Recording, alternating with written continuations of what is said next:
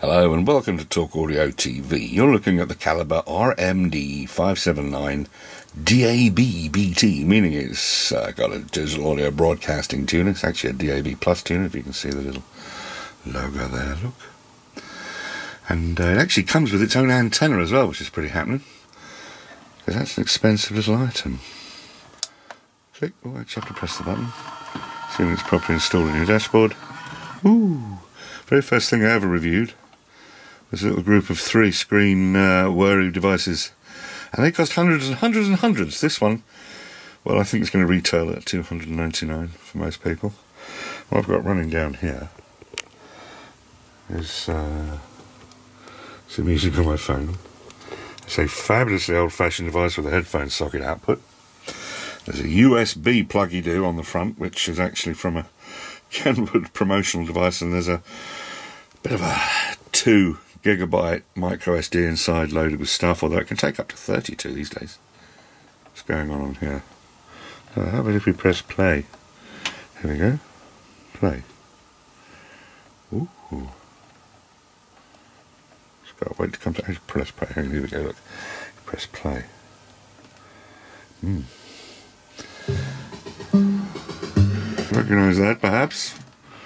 Let's go back to the uh, but I did want to play.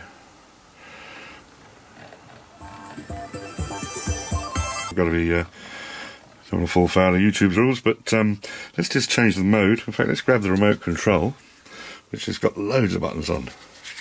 And mode.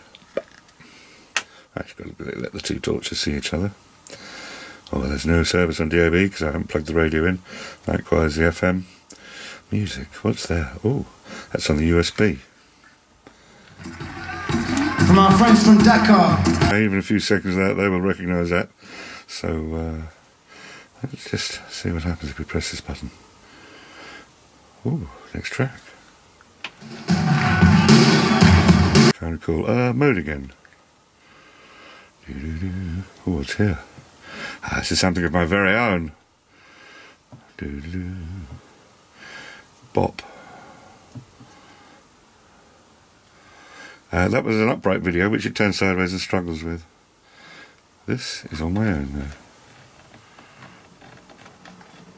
It was a dark and stormy Halloween night. Somewhere in the distance, a wolf howled its lonely plight. Girlfriend and I sought somewhere to lay our heads for the night, and at last we found this old house. Knocking on the door, it just fell open.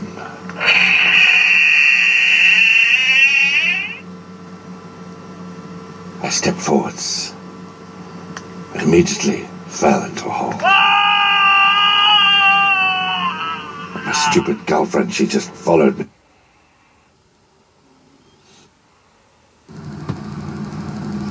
Green woodpeckers. got a bit of image quality here, check this out. Here's the handling noise, beautifully rendered in stereo.